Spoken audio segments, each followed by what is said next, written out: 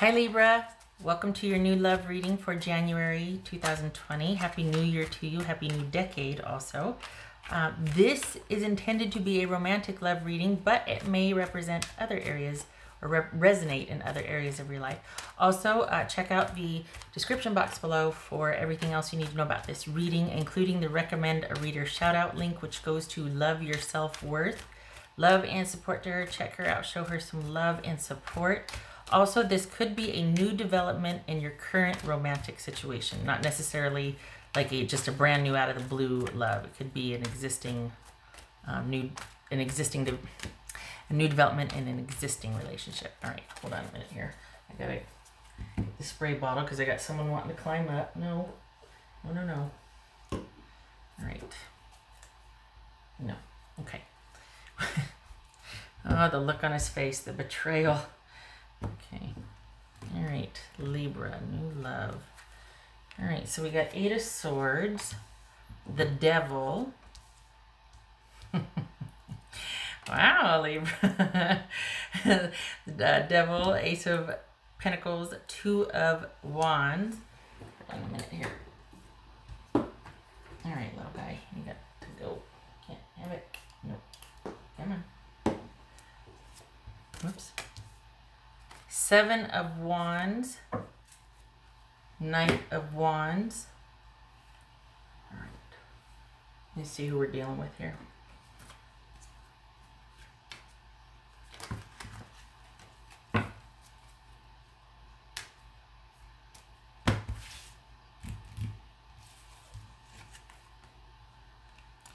Knight of Cups. That could be Scorpio. Doesn't have to be. This could be Capricorn.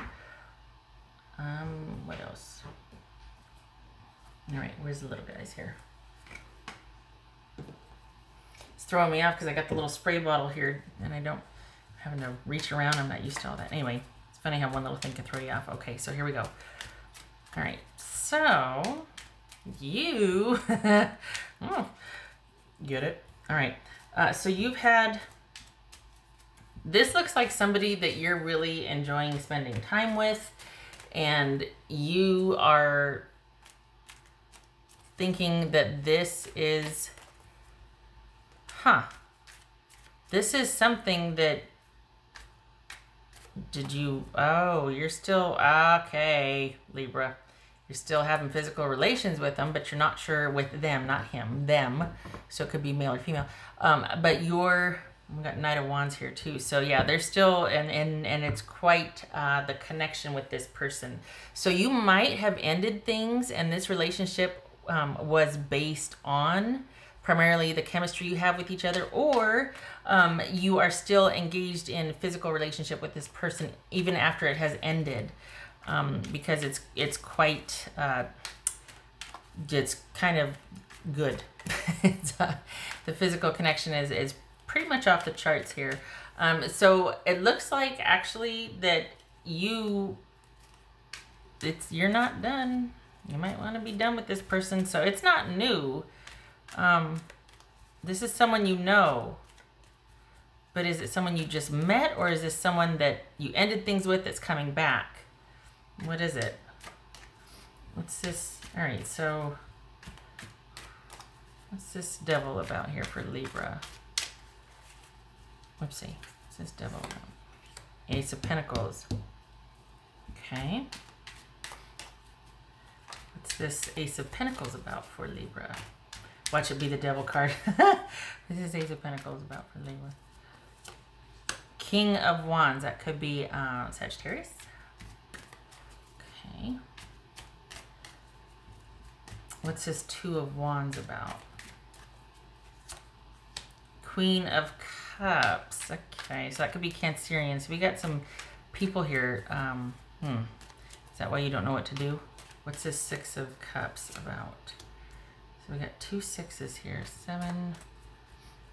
So there's there's some frustration and kind of not knowing what to do, feeling stuck right now. Um, some frustration. This is King of Pentacles. That could be Virgo.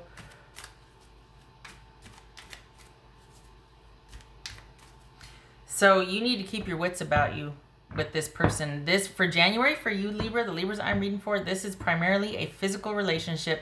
You secretly are going to have more feelings with the, for this person, but for some reason you're not going to know what to do about them. Is it that you're dealing with two people? Is it that this is somebody that's dealing with two people? Um, there's somebody else involved here, but this is a really good uh, physical connection. So it's it's one of those things where it's going to be really hard to see the forest for the trees because that the chemistry is off the charts here. Um, it could be that you've ended the formal relationship, but you two are still um, seeing each other physically, and that's what's causing you stress um, and frustration here because this is someone that's not. Um, I think you might have two people here somebody that wants a commitment and somebody else you're still dealing with that doesn't want a commitment, but you're um, the chemistry with them is pretty uh, off the charts. What's this seven of wands here for Libra? Seven of wands. So it's gonna be it's gonna be busy. Might even be a crowded month for you, Libra. okay, so seven of wands, uh, five of wands. Okay, what's this knight of cups about? This knight of cups. All right, so you okay? So knight of. Hold on. This knight of cups. All right, ten of cups. So here's the thing. You've got to. You're dealing with two people and you're going to have to decide. And you want it it feels like you want the one with a really great physical connection but you've got somebody else that is going to be ready for the stability. And you, they tick all the boxes but they don't have the connection physically for you like the other person does. And you you can there there can be for the Libras that I'm reading for um, for whatever reason you are in a prime position to be out and among and dating and doing the things. Um, but you don't want you're you're stuck because it's like you don't want that. You kind of want you want it to happen with the physical, the one where you have the the great chemistry with, but they're not available for connection really. It's just physical.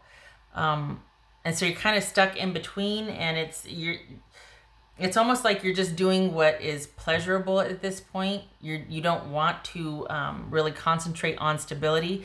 But here's the thing: I think it's because you want to wait for that other person to be available, and that is nebulous. That's not anything you can pin down with that person.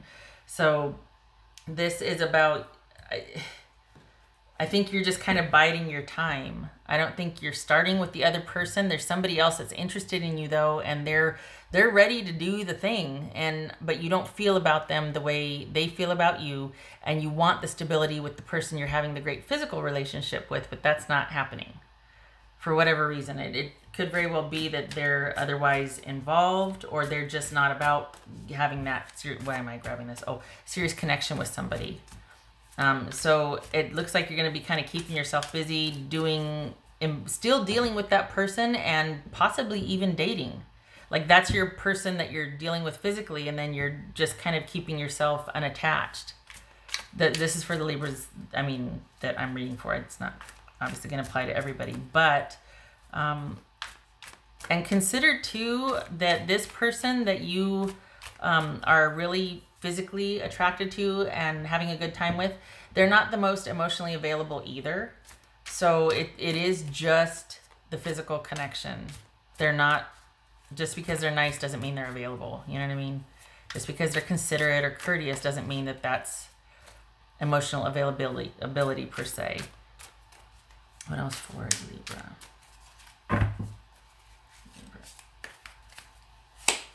Knight of Swords. Holy cow. So we got three knights. One, two, three. Mm.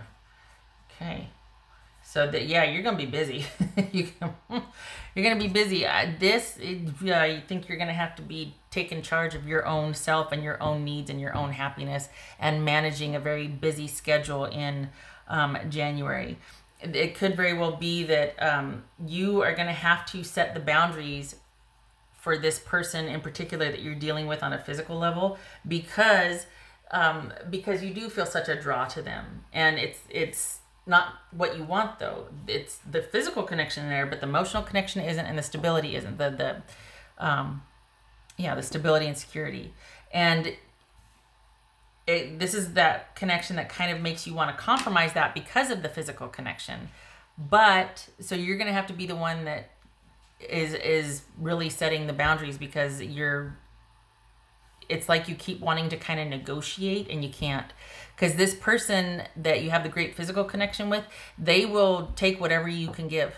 They'll they're in it for whatever um, and that and then that's that.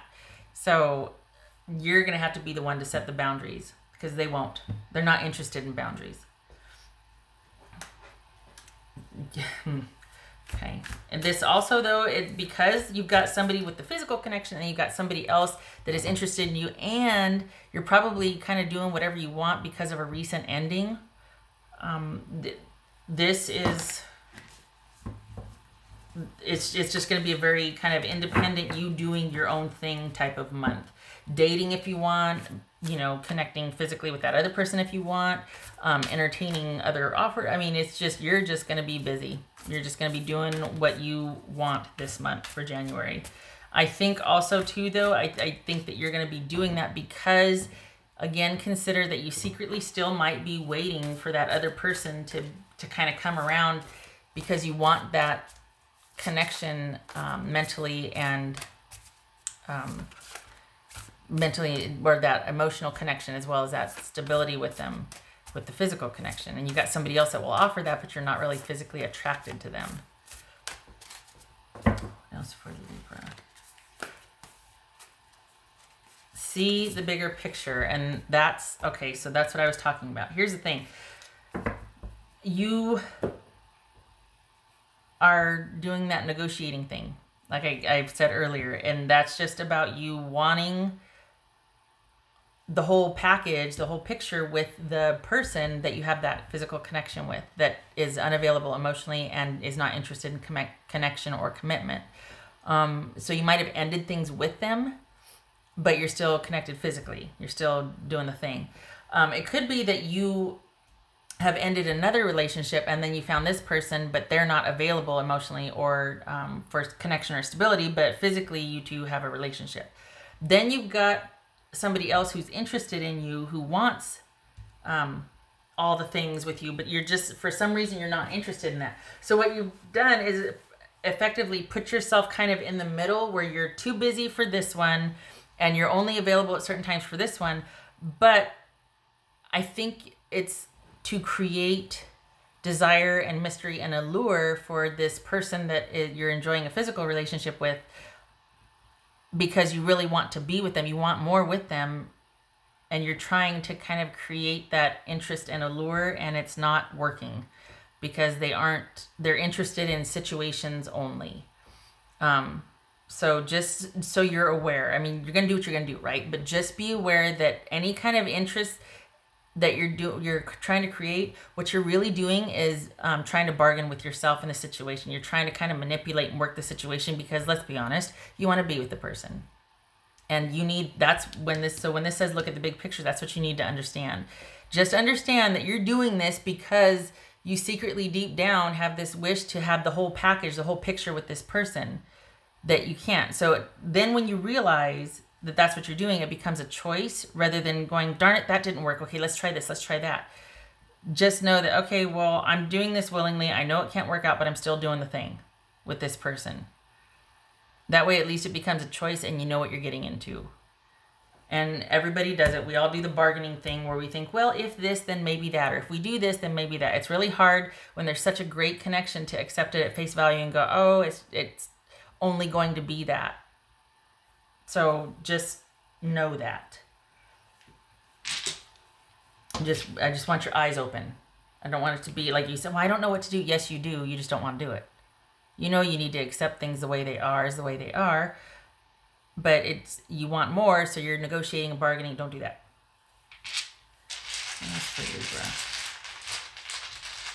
So again, the answer to that is boundaries and be like, okay, well, I know they said this, but my standards are such that this and that, and I don't want to be put in that position again. So these are my boundaries for this situation. You're not going to be able to rely on the other person because let's be honest, you might feel like you can't trust yourself with the other person because when they say, you know, to come running, you might as well go running because the attraction is there. So, and I'm not saying, oh, you're weak. No, it's not like that. But let's let's be real here. I mean, consider what you do, not what you tell your friends or not what you want to think that you do. Let's let's consider what you do.